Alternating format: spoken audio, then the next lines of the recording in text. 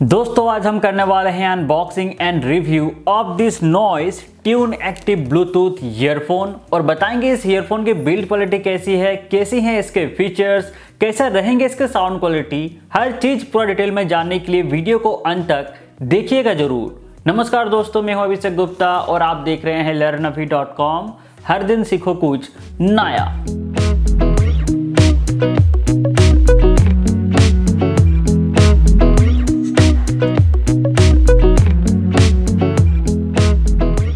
So guys ये है हमारा नॉइस ट्यून एक्टिव का बॉक्स जो बिल्कुल ग्रे कलर में आया है। मेरे पास ब्लैक कलर वाला नेक बैंड है। अगर आप चाहो तो डिफरेंट कलर में भी ये अवेलेबल है। मैं लिंक डिस्क्रिप्शन में दे दूँगा डायरेक्टली आप वहाँ से जाके चेक कर सकते हैं।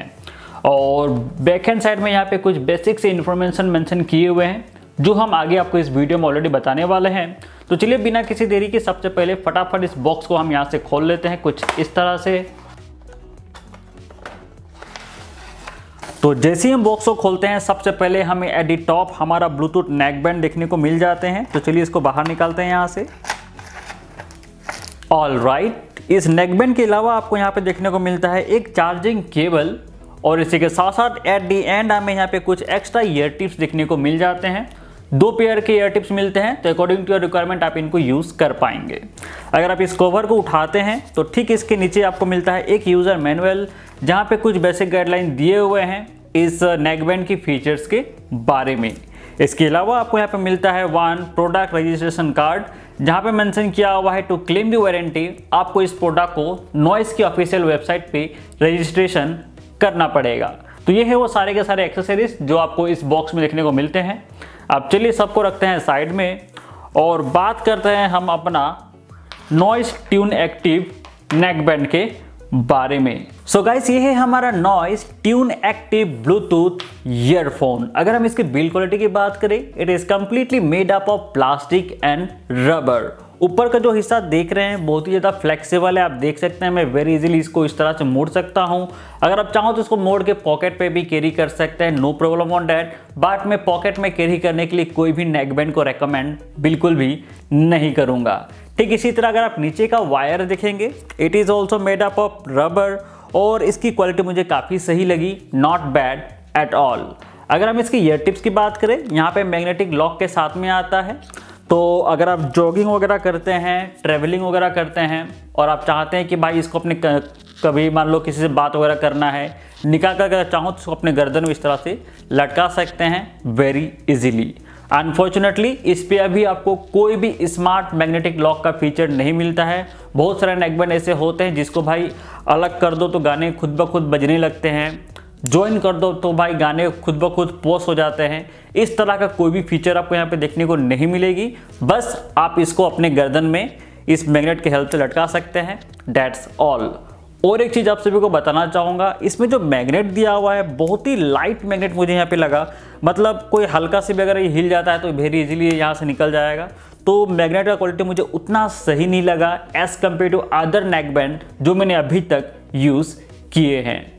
अगर हम इसके लुक्स की बात करें तो लुक्स देखने में काफ़ी सही लगता है। इस ईयर टिप्स के ऊपर में जो नॉइस का लोगो दिया हुआ है, वो इसके लुक्स को और भी ज़्यादा बेहतर बना देता है। लेकिन आई विश अगर ये जो ऊपर का ईयर टिप्स दिया हुआ है, अगर ये मेटल का होता तो देखने में और भी ज़्यादा प्रीमियम लगता। But it is completely made up of plastic so look is good but not the best अगर हम नेक बैंड के लेफ़्ट हैंड साइड में देखें तो यहाँ पे बस नॉइस का ब्रांडिंग दिया हुआ है। इस तरफ़ आपको कोई भी बटन्स देखने को नहीं मिलता।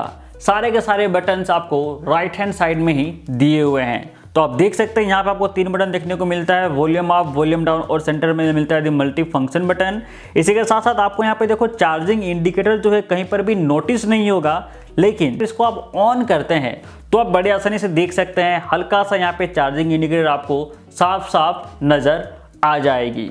ठीक इसके नीचे आप देखोगे तो आपको यहाँ पे मिलता है चार्जिंग पोर्ट जिसके हेल्प से आप इस ईयरफोन को चार्ज कर पाएँगे। और ठीक इसके नीचे दिया हुआ है माइक्रोफोन होल अगर हम इस नेकबैंड की टोटल चार्जिंग टाइम की बात करें तो वो है अराउंड 1.5 आवर्स तकरीबन डेढ़ घंटा में ये ब्लूटूथ नेकबैंड फुल्ली चार्ज हो जाता है। और मैंने इस नेकबैंड को पूरा दिन यूज़ किया है और अभी भी इसमें कुछ परसेंट तक बैटरी बचे हुए हैं। तो बैटरी बैकअप बहुत ही अच्छे मिलते हैं। अगर आप अराउंड 60 टू 70 परसेंट के आसपास वॉल्यूम पे गाने सुनते हैं तो very easily up to 10 hours की बैटरी बैकअप आपको मिल जाते हैं।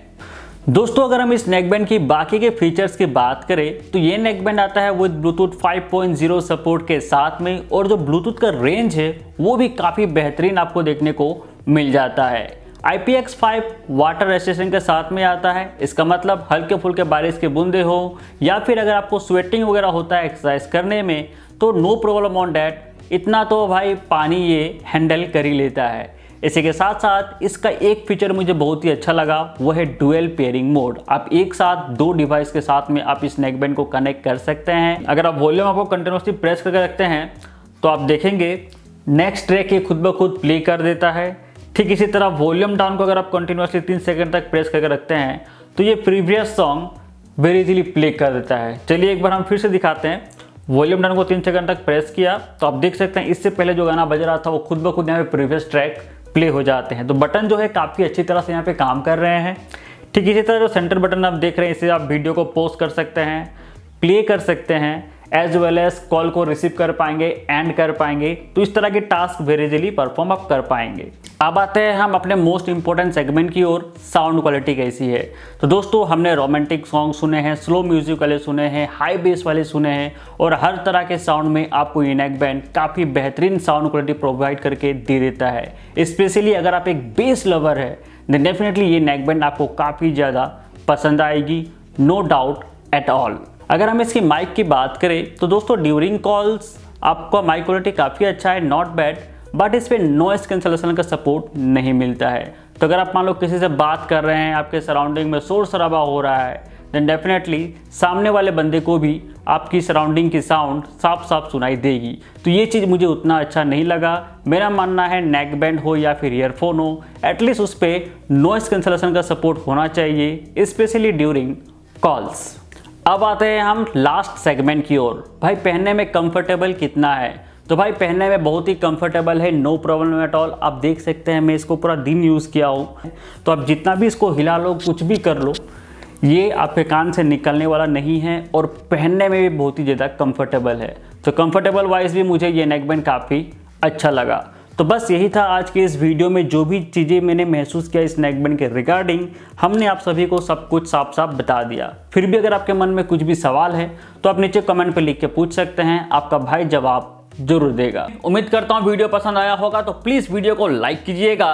और अगर आप इस नेकबैंड को ऑनलाइन खरीदना चाहते हैं तो प्लीज़ डिस्क्रिप्शन में दिए गए लिंक से बाई कीजिएगा, जहाँ से ये नेकबैंड आपको सबसे सस्ते दाम में मिलेगी। इसी के साथ साथ थोड़ी सी सपोर्ट हमारे चैनल को भी हो जाएगी तो भाई लोग थोड़ा सपोर्ट कर दीजिएगा। चैनल वीडियो पहली बार देख रहे हैं तो चैनल को सब्सक्राइब कीजिए and also hit the bell icon thanks for watching मिलते हैं अपनी नेक्स्ट वीडियो में।